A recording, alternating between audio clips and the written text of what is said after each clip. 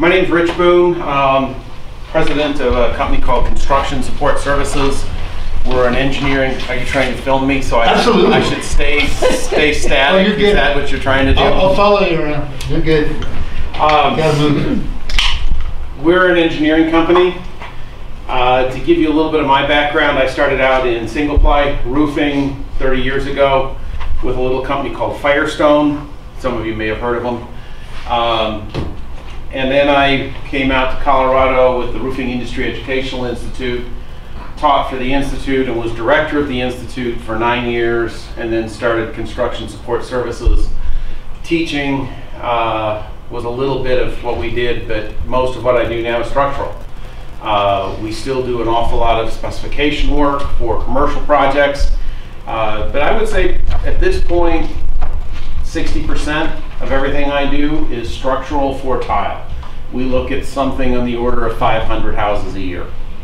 Um, so it doesn't matter who the contractor is, pretty good chance I'm going to be doing the structural.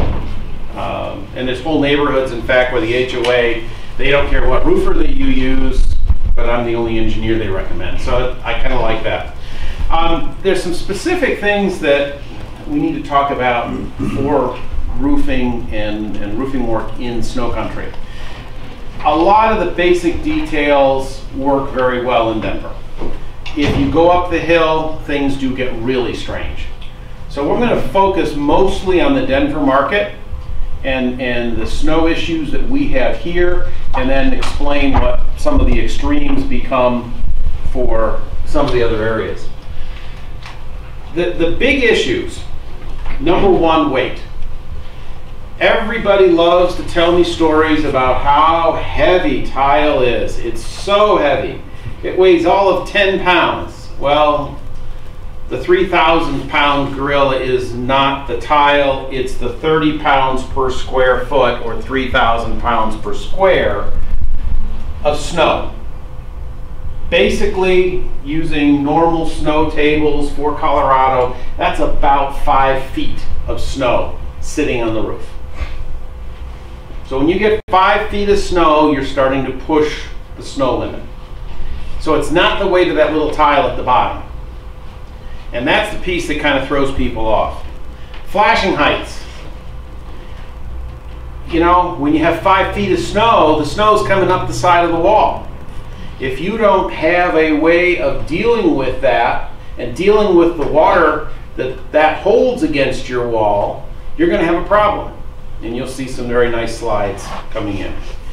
And a lot of a lot of the detailing is so simple. It's just a matter of simple things like peel and stick underlayment and you know, good roofing practice is really important here. So if we just follow the normal good roofing practice, we don't we don't have lots of problems. Tile is an extremely popular system. That's why you're all here. and it works just great. You don't have to put solid ice and water shield down on an entire roof in order to put tile on it. As long as you follow the guidelines, and I know Gary's covered some of those things in, in his talk, and, and you're going to hear about some more throughout the rest of the day. If you're just following the guidelines that are out there, they're published, you're going to be in good shape. Screw up, and yeah, you're going to, it's an expensive fix. So, some basics of underlayment. Specifically, ice damming.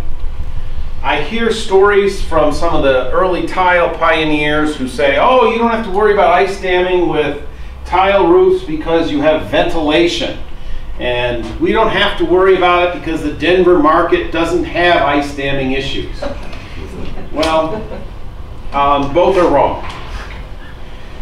I've measured water depths, liquid water over nine inches deep behind ice dams. So you have to have protection at your eaves if you want to keep that water out. And it doesn't matter what roofing system you have, it's going to occur tile, asphalt shingles, metal shingles, any of it. You've got to be prepared. Now, there are some simple things you can do. What you see actually here, if you notice, that's an athletic sock that's been packed with ice melter.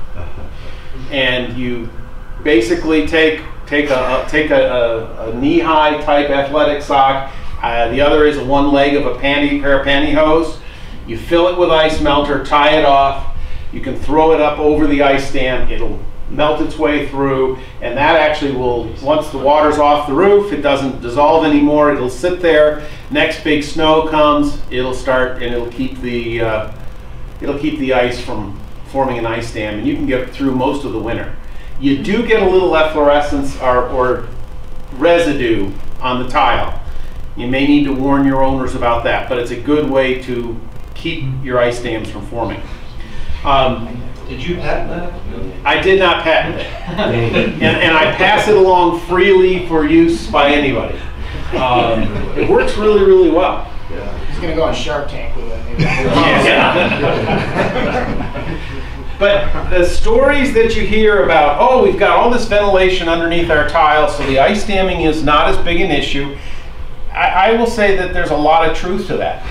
If you can get a very well ventilated roof assembly, you will reduce the amount of ice damming. The problem is, as the snow falls, it stops some of that ventilation. So therefore, we go back to a static condition.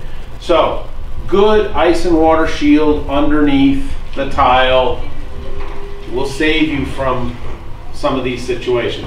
The last one was uh, asphalt shingles. This one is a tile roof, and you can see the uh, that, that ventilation underneath doesn't help them much. When you get into thicker snow fields, snowpack, you've got to make sure that you have good control of that water at any sidewall condition. And that's one of those things that people forget about. And, and I've, I've done it too, because most of the time sidewalls let enough heat out, it'll melt the snow away from the wall. And you get up in the Vail and you'll have a snowpack that's four or five feet deep, and you'll have 12 inches of space between the wall and the snowpack. And that's because the heat has melted it back away from the wall.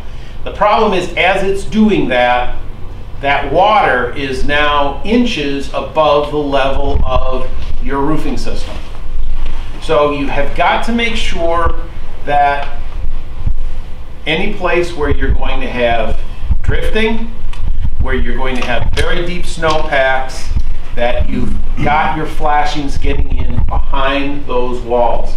Now, in most cases, you can go in, tuck in up behind the siding, and that'll work just fine. The siding will counter flash down into your sidewall flashing, and, and the water will run out. Works great until whoever built the building forgot to put the paper in the wall. Or as one contractor put, he said, oh, it must have evaporated. I, I can't make this stuff up. Is that the vapor barrier? It Evaporated, yeah, it was, it was there, but the heat, you know, must have, must have shrunk and it evaporated over time. Never seen black paper do that, but I guess this guy was really special. Um, so, we've got to make sure that you're tying into a good waterproofing system behind that wall. Does that mean you got to take some siding off? Yeah, sometimes you may have to take siding off. You're going to see some pictures in a minute of, of what I find when it comes to these sidewall issues. The snow melt is going to happen. It happens fast, especially in our spring times. Uh, this weekend, especially, anything that's up the hill a little bit, they're going to have liquid water three and four inches up in that snowpack because it's going to be so wet. So if your flashings aren't properly set up for water shedding, and sometimes even if they are, you can get water that's going to track itself into that roofing system. So you've got to look carefully when you're putting in, es- especially sidewalls, that you're tucking up as far as you can get into that wall system, and that when you're putting it into the wall system, it's layered into the wall correctly. Um, do you have a marker uh, for the whiteboard? You know, I haven't looked, Rich, I'm not sure if there is or not. Uh, I didn't bring, I know I didn't bring one, but basically what, got one there, well, I can, I can sketch it out real quick. I don't see one on the, on the floor, Okay. but, uh, That's all right. Basically, what happens is this, if I have a, a, a wall coming down and I stick my metal in behind the siding, but I'm outside of the, the waterproof layer that's in the wall, water coming down inside the wall now is directed behind my flashings. Now, is that a roofing problem or a wall problem? No, it's a roofing problem because you'll never fi- never find a siding contractor. They're all gone. Think about it. How many siding contractors hang around? true. Okay? Roofers always, it's a roof leak. If the water drips, it's a roof leak. So you're gonna, you're, you're gonna have to investigate it if nothing else. So if it's nothing more than making sure you take off enough of the siding to get that flashing in up behind, can save you a lot of headaches later on down the line. I, don't want to diminish my ventilation discussion. Um, the reason that this gets dark is because the, uh, the plywood's no longer reflecting light. And it's not because I spray painted it black. Okay? Do, I, I, I'm not a mold expert. It didn't look like paint. Let's just say that, okay? Yes, we get good ventilation with, with tile roofs at the tile level. But the attics still have to be ventilated. And, and I see a lot of cases where people throw down a tile roof and somebody forgets that all those box vents they took out need to be either replaced by a new type of vent or a ridge vent. There's a lot of options that you have, but you have to make sure we have the ventilation. And when you put it in, I don't know how if you can you can see that. Can we can we turn that light down just for a minute? If they're out. In this here here is the edge of this that that helps. Here's the edge of that vent. You know, somebody went to a lot of trouble to cut a hole and they missed the darn thing. That doesn't qualify because I've got a quarter of the venting that I should have. You have to, you have to do good ventilation. Colorado, we're, we can, you can get away with it a little bit. I had a call yesterday afternoon. Yeah, there we go. That, that shows it up a little better. I had a call yesterday afternoon on a ventilation issue. I had a call this morning at 7:30 on a ventilation issue. And a guy had checked 22 roofs. 18 of them were showing mold because the ridge vent system wasn't working. Okay? So, make sure that you have the ventilation in place and, and there's some very good vent systems that work very well with tile, but you have to install them. We want half our ventilation low, half of our ventilation high. If, if you can't do that, the other thing you can look at doing is you start looking at going to power ventilation with humidistats, and all of a sudden some of this starts to sound expensive, and it can be. And there are some homeowners that don't want to spend the money to do it. Well, what do you think it's gonna cost them to fix that? Oh yeah, by the way, the roof's gotta come off again to fix that. The roof comes off, you have to pull all that out of there, and it gets pricey, doesn't it? All right, let's talk about the, the, the, the thing that most people are interested in as far as an, as an engineer. What are some of the weight issues that we ought to be concerned about? Number one, anything that's over 50 years old. There were a lot of smaller homes built in the 60s, and most of the smaller homes are fine because the spans are short as you start getting into the later 60s, the houses started getting bigger. And that's actually when we started seeing some problems before we flipped over and went to trusses. As we get older than 50, as we start getting into the 80, 90 year old houses, we start seeing lighter and lighter framing. I've seen houses that have 20 foot long rafters that are just two by fours and single span.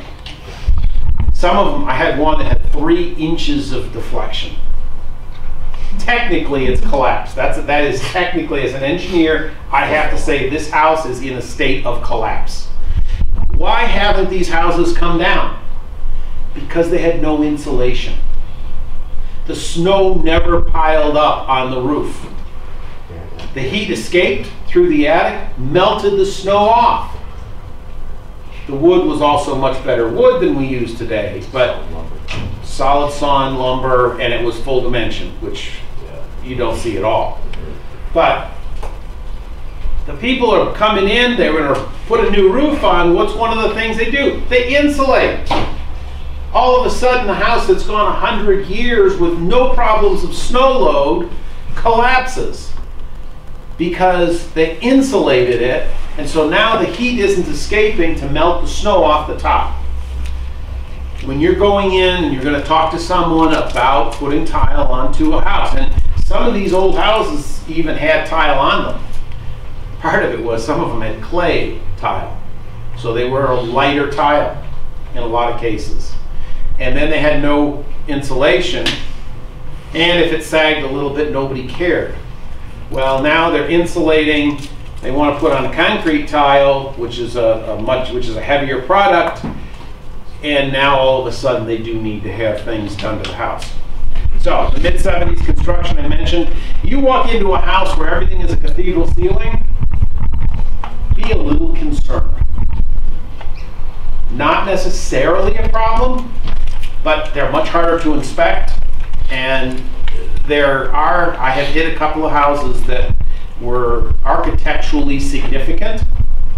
And those architecturally significant houses were not well engineered houses. Um, if you have cracks in the ceiling, and typically when I say this, I'm talking about cracks in the middle of the ceiling. Cracks along the wall, ceiling wall junctures, it's house movement.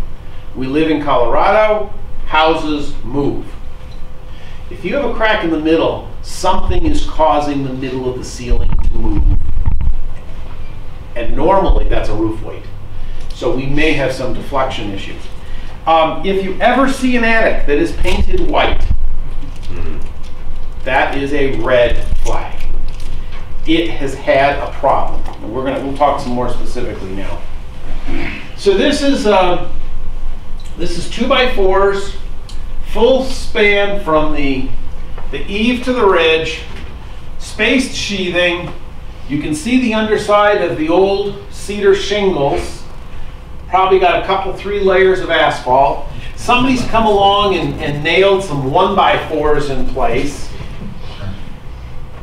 We are probably going to need to do some stiffening in this house. Now, there's a few things that happen. If it's a small house, and many of the old houses are really small, very steep roofs, it's not too difficult to stiffen them. As we get to larger, older houses, where, and they've brought the slope down in the 612 range, then typically we are going to have to do something to get some stiffness into that roof assembly. And our choices are generally we can sister them, or we can install some horizontal uh, framing that we bring into a bearing wall that's in the house. You're not going to do any of that part of it. That's my job.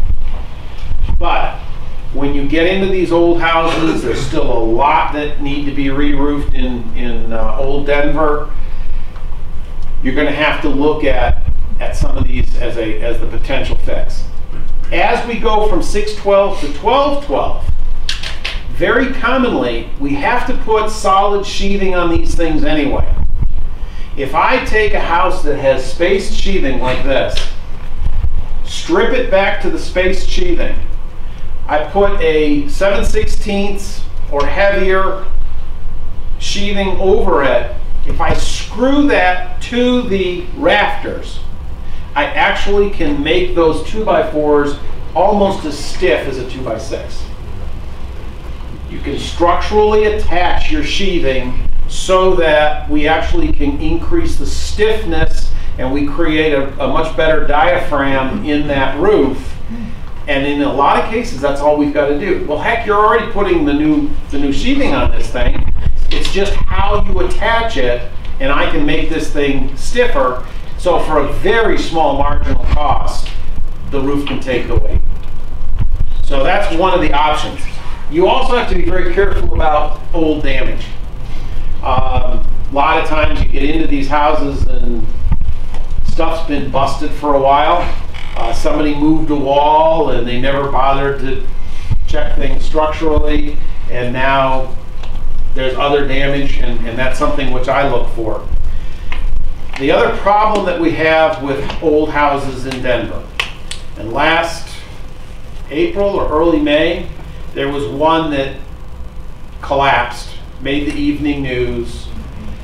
And my rule of thumb is I don't ever want one of my projects to make the evening news. I looked at six collapses last year. Not a single one of the ones I looked at made the news because we were able to get to them. I actually had a call one time. Contractor said, "Rich, how soon can you get to such and such address?" And I said, "How's next Monday?" And he said, "It's collapsing right now." And I was there in 10 minutes. We were able to sta- stop it, stabilize it.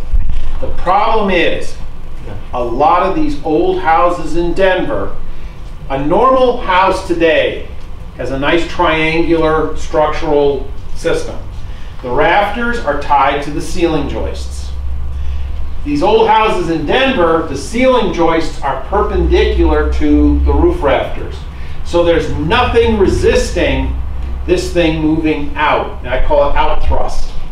As you load the roof, it pushes out. In a lot of cases, people say, well, these have been sitting here, it's got four roofs on it. We're taking that weight off. Yeah, well, sometimes that weight's the friction that holds it together. You get up there and start pounding on this roof, you're vibrating it. You start dropping bundles of shingles, and of course, tile, onto these roofs, those loads, boom, will push the center down, push the walls out. So, as you get into especially the 1890s through about 1930 construction, you've got to be very, very careful about how you tear off, how you load, and making sure that things are tied together. You don't have to do the calculations or any of that stuff. Engineers do that, but it's something that you may want to make sure whoever you call is an engineer. If you're not using me, that's fine, but make sure that they're familiar with this problem so that it's a simple thing. You tear off around the edge, you just attach the rafters, tie them back into the joists with some steel straps. We're fine. If you don't do it, then you'll call me for the collapse. That's a lot more expensive. Mid 70s, as the as the construction industry switched over to trusses, trusses didn't have standard techniques for connections. And so we get what I call the bottle cap truss plate. And these don't meet today's standards. They still may be fine, but it's something that as an engineer you have to watch out for. The other problem was that there was a lot of, you know, trusses were standard. So if somebody wanted something a little different in their house, they'd have a few standard trusses and then they'd switch to some stick framing. But with the explosive growth, especially in Colorado, they were grabbing framers from anywhere they could grab a body. Some of you may be familiar with that problem right now. Some of these guys didn't have a clue what they were doing. They would slap in a 2x4 when they should have been using a 2x8. But you know, you're up there and you're doing your stuff, and the 2x8s are on the pile down there. I have a 2x4. I'm going to grab the 2x4 and stick it in. Nobody will notice. And at one point, there were what, two inspectors for all of uh, Arapahoe County? Uh, There were four inspectors for all of Jeffco. Needless to say, some of these things got missed on framing inspections. Well, now we come back in, these are the kinds of things that as an engineer, I'm looking at to say, okay, 19, late 70s construction, yeah, I'm probably gonna see some, so I, I- I call it jack framing between truss runs. Probably the number one thing that I see. Houses that are all cathedral. You know, when I, when I get in an attic and I see TJIs sticking up from where the cathedral ceiling ends, I'm not worried. We can do about anything we want in most of those. By the time the engineers and designers were putting TJIs into uh, cathedral ceilings, they had it figured out. Where I have a problem are some of these houses where you get in there and what you see are two by sixes, 12 inches on center or tighter. Because they just, I've got one contract, one contractor, I've looked at probably 400 houses that this guy built. And as he was making the transition into trusses, he just, he, he, when he had a cathedral ceiling, he just throw in extra two by sixes. So it's only a six inch thick slab, but, you know, he has these long spans. Well, you can't do that. The good news for him is you can't put much R value in a six inch ceiling slab. So therefore, the snow melts off anyway. But as Denver and some of the other municipalities are now saying, hey, you've got to come in and put insulation on top of this to meet the new energy codes, then it's going to become a factor. If you walk through a house and you see ceiling cracks in the middle of ceilings, um, yeah, we probably, as an, as, you know, from an engineering standpoint, are gonna have some issues. Um, that's an indication that something's a little too soft.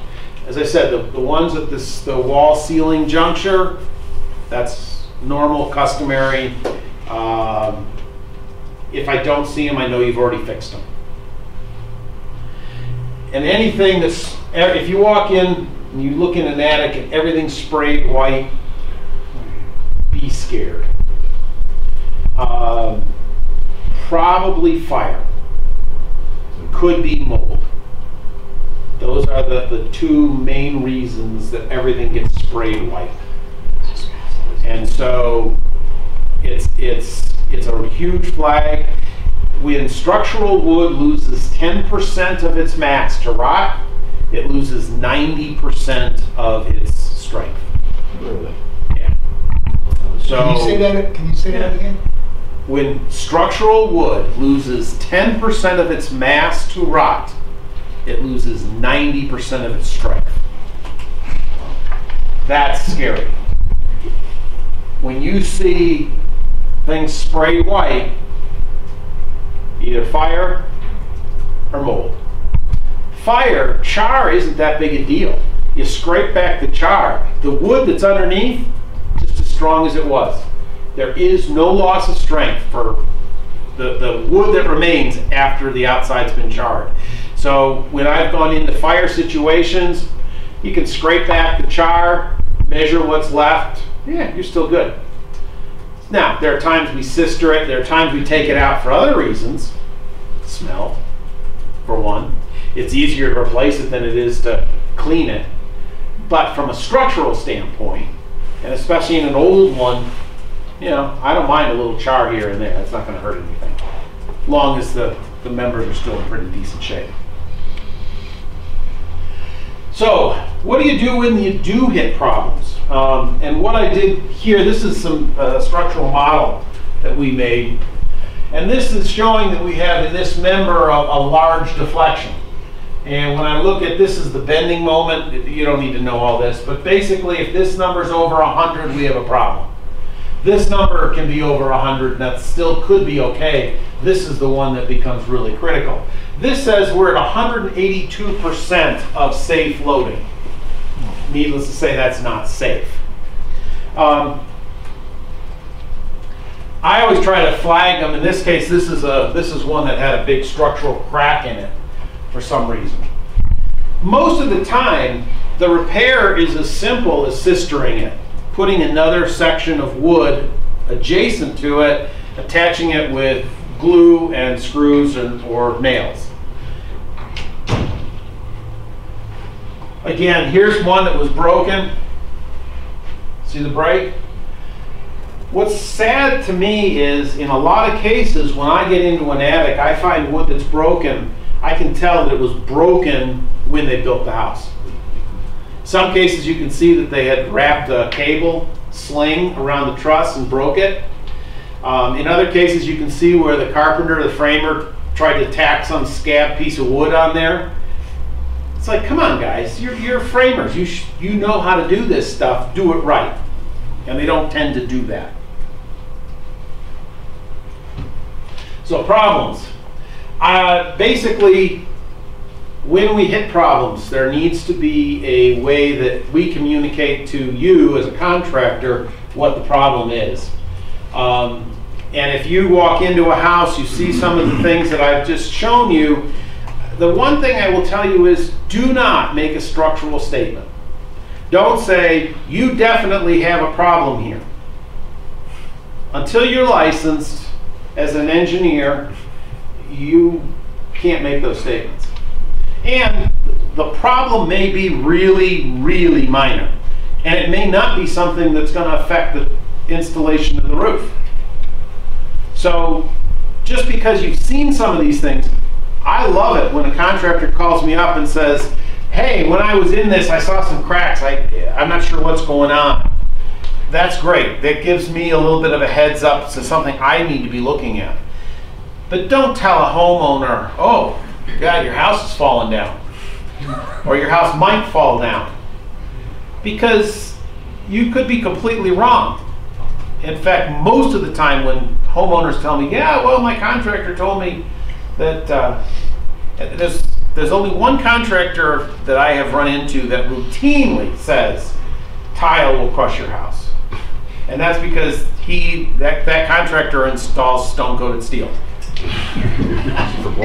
I- I- He's not allowed to. But I will say that when they have to install concrete tile, because stone coated steel is not allowed, I do all their engineering.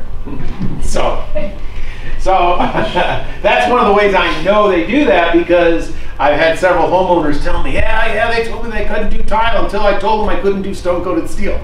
And then they immediately said, oh, well, that's no problem. Um, But don't, you know, if you see something, any of the things I've just shown you, worth it to make sure you pass that information along. It's good before I, as an engineer, walk in that I know some of this stuff. But don't don't scare the homeowners. Shoot, their house has stood. You know, some of these houses have been up for 120 years already.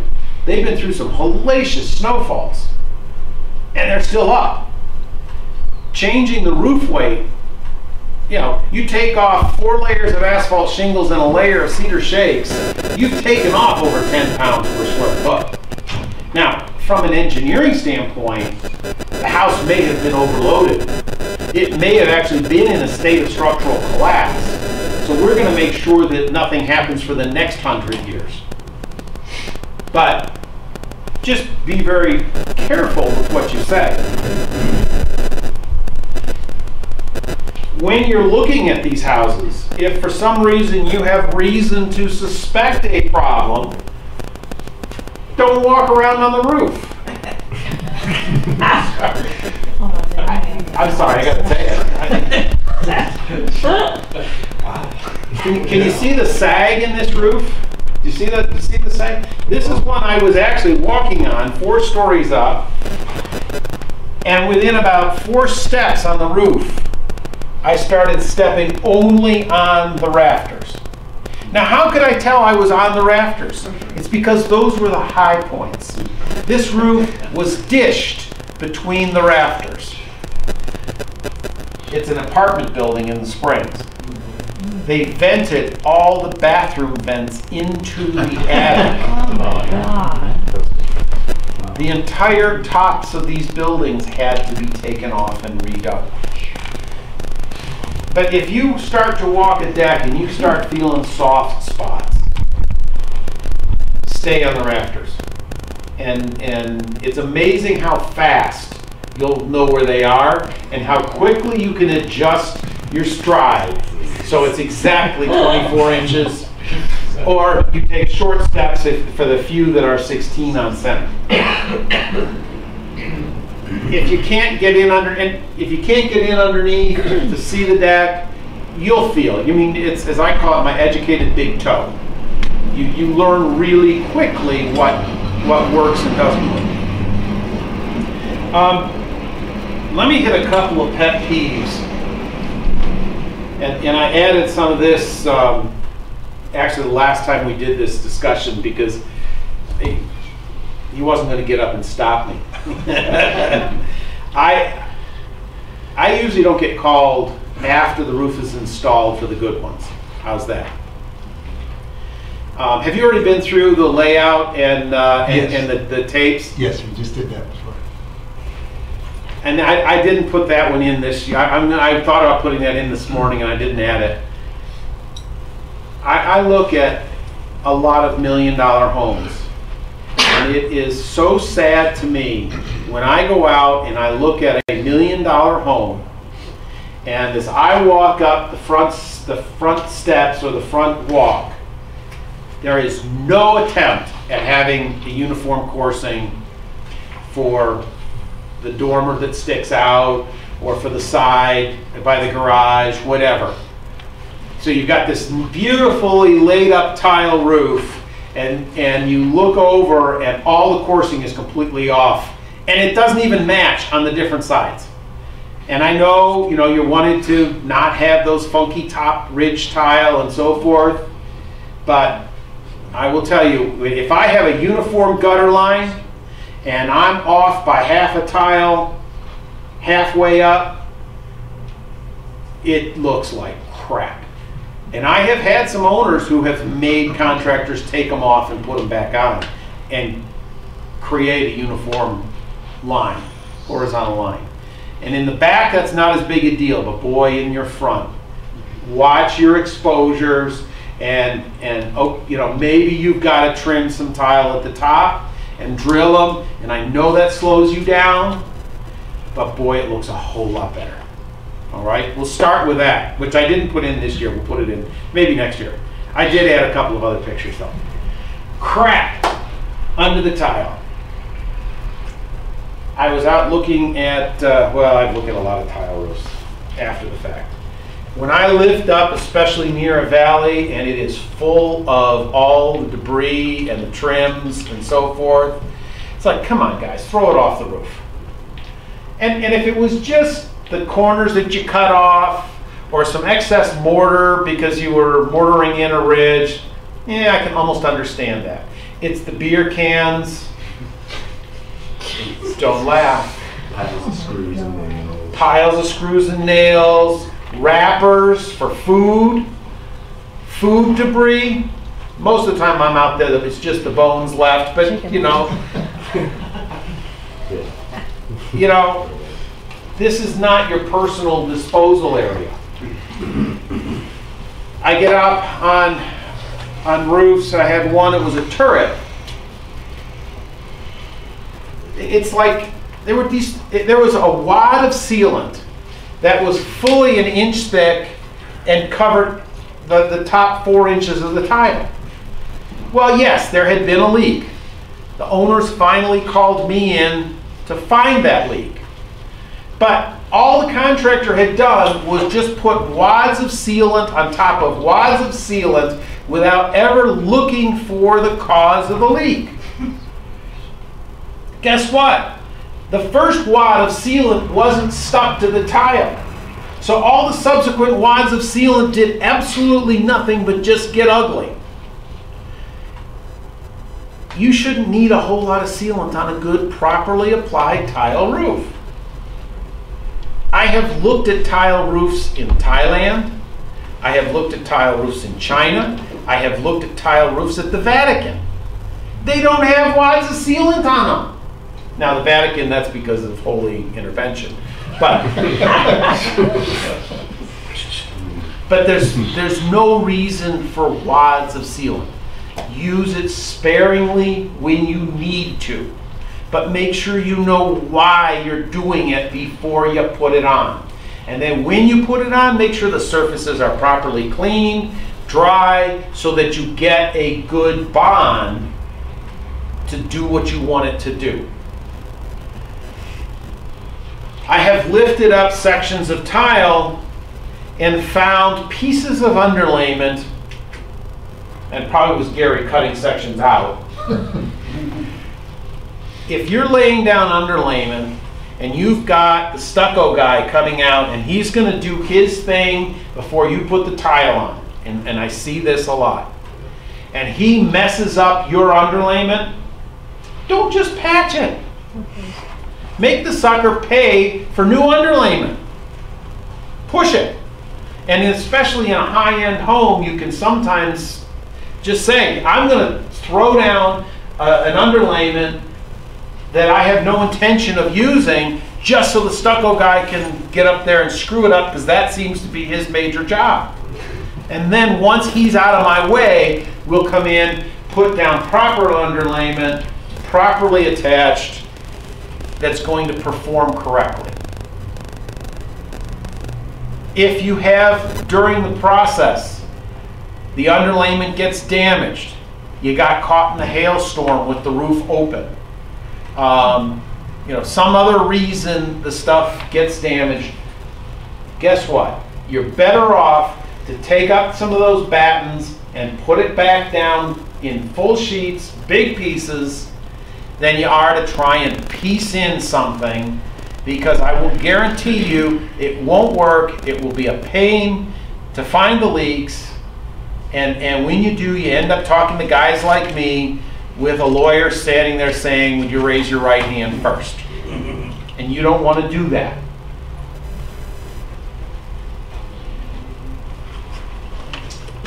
The one that I added this morning, the couple slides here.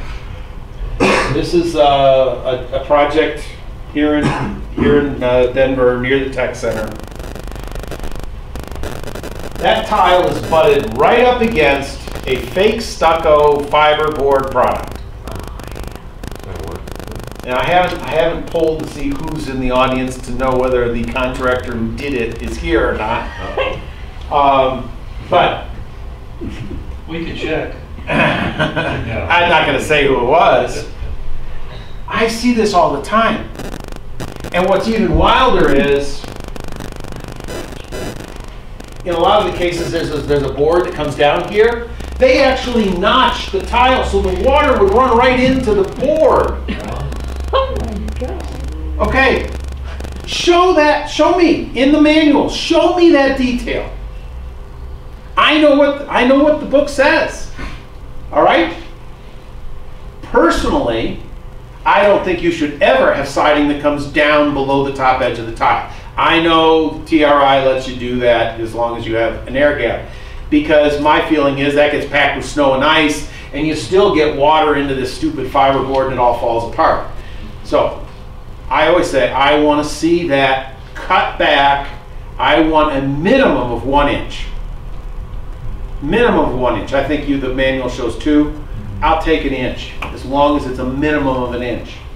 Now some homeowners will say, I don't want to see. I want hey, on my tile. I don't want to see the metal. Well, guess what? Get colored metal. Kynar coated metal that's dark. Don't use bright metal. Oh, but that'll cost us an extra 30 cents on the job. You guys are laughing. I had one I told I HOA we held $80,000 because and this that was one of the mistakes. They have these are these are million and a half dollar townhomes. And this sucker used galvanized metal on his exposed metal on million dollar, million and a half dollar townhomes.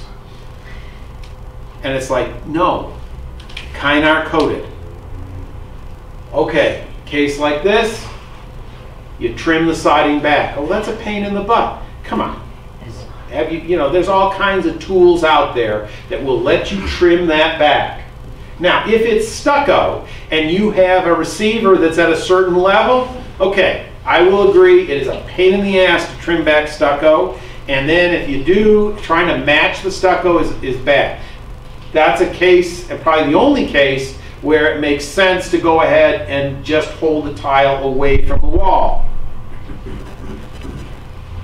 Here's where I lifted the tile and looked in underneath at the pan flashing. Here's one of those boards I told you about, okay? That they had notched the tile around so the water would hit the thing. Oh, guess what? The pan doesn't actually go under the siding, they just stuck it up against it. I guess they figured if they got the tile tight enough to the siding, they could run a bead of caulk along there and that would work.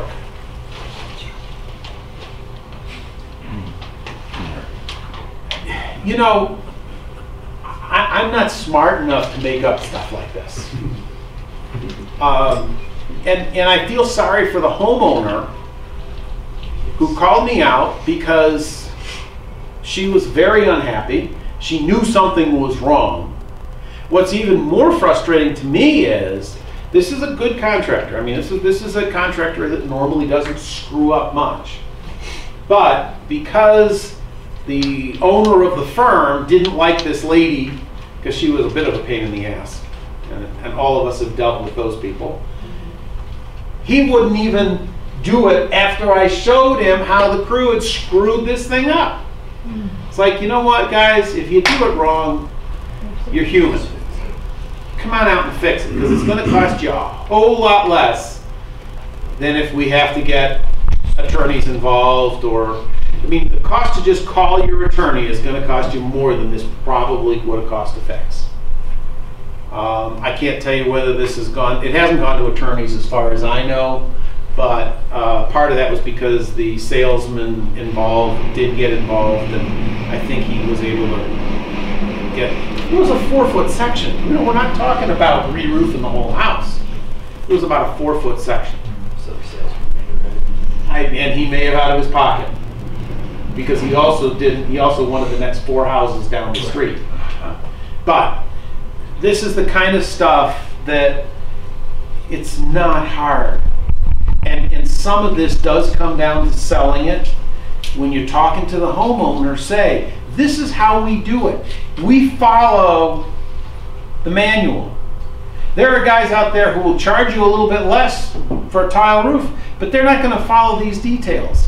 And we're going to use better materials. We're going to use better detailing because we don't ever want to have to visit your house again other than socially. Do it once, do it right, never do it again. And with tile roofs, I dare say, done properly, they're going to outlast all of us in this room. Although a couple of young guys here maybe, maybe we'll still be in the business 40 years from now. But there's, there's no excuse, especially when you've got reasonably good details. And, and I have talked to a couple of contractors who say, well, I keep complaining to Rick that we've got to change this detail and that detail. And I say, well, fine, that's, you know, you can do that. But the details do work if you do them correctly. So that's all I had. That gave you my two cents worth of